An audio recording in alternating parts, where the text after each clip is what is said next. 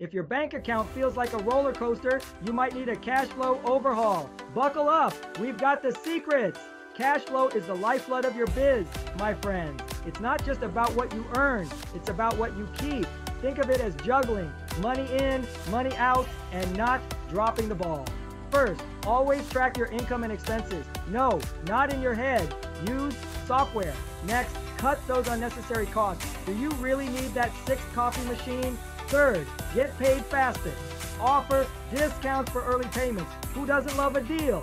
And keep a cash reserve. You know, for those just in case moments. Master cash flow, and your business won't just survive, it'll thrive. Stay savvy, entrepreneurs.